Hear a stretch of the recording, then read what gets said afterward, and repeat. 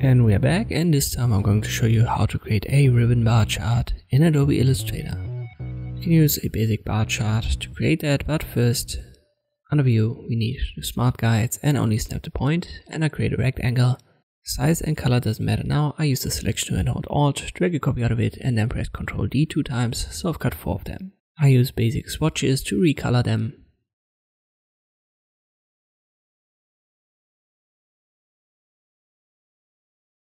The next step is to use the basic column graph chart. And then we need some values. Let's just assume we've got our social media companies again. I'll make it 4. And I give them uh, some values. It's just random.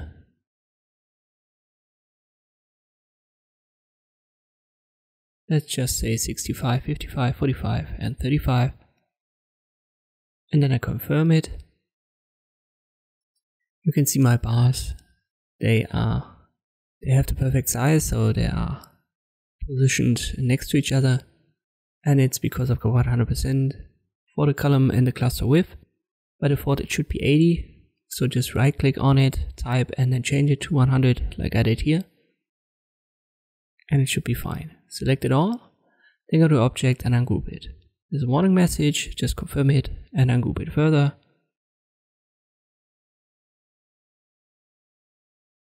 So now we can get rid of the legend. We don't want to have that. I can get rid of the stroke. We don't need it. And I'll get rid of the numbers.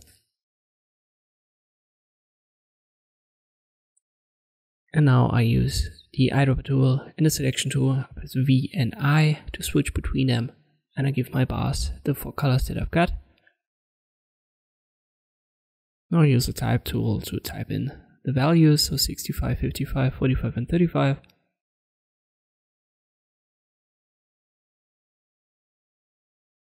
I'll just do that for the first one, then I use the selection tool and hold Alt and drag a copy out of it, and then I press Ctrl D two times.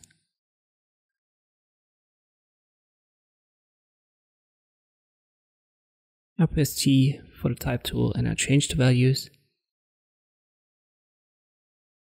I'll add a little line segment on top as a divider.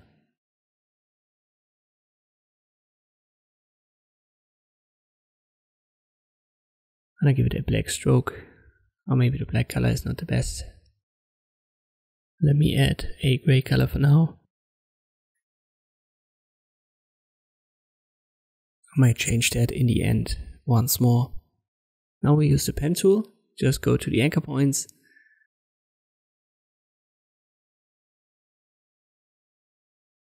and then upwards and the smart guides indicate when you've reached the center to create a triangle. Make sure it's selected. Get rid of the stroke and add as a fill color the color of the bar. We can use the eyedropper tool as well, so press I for that. We still got a scaling in the background, so we need to address that later. It's invisible as I've taken away the stroke, but it's still there. But first, let's add some more triangles. Just use the selection tool and hold Alt again to create copies. And then position them on top of the bars. And then use the eyedropper to eye to give it the colors of the bars. And always press V, which is the short key for the selection tool.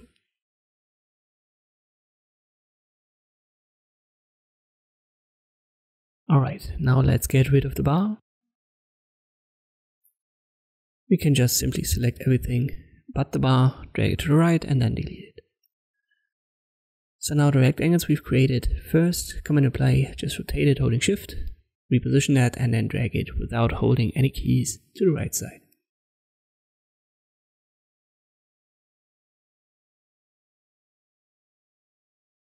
Now only select the bottom part, and we want to transform it, so use the free transform tool and use the perspective distort.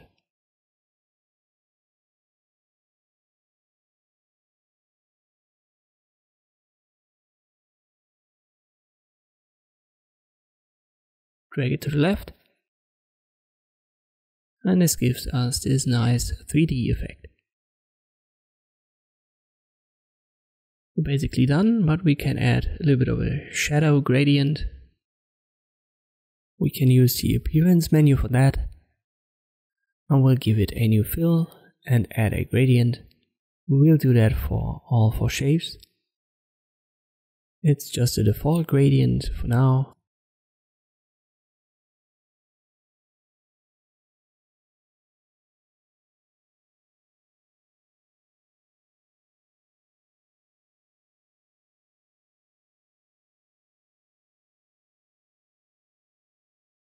Make sure they're all selected, then go to the gradient menu, go to the left hand side and then decrease the opacity to zero.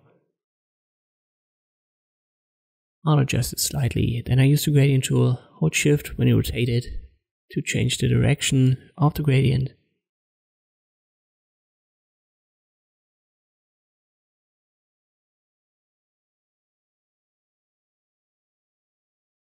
I need to resize that and reposition it.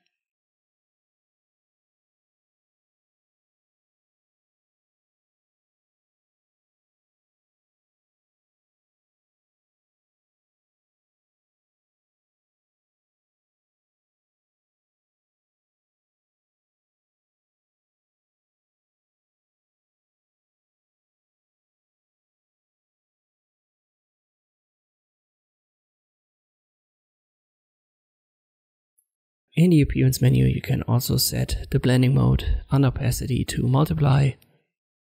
It sometimes works well, just try it out. But this is basically it. But let me change once more the color of the line segment, I don't like the current color. And this is how you can create this ribbon bar chart in Adobe Illustrator. Thank you for watching and I'll see you next time.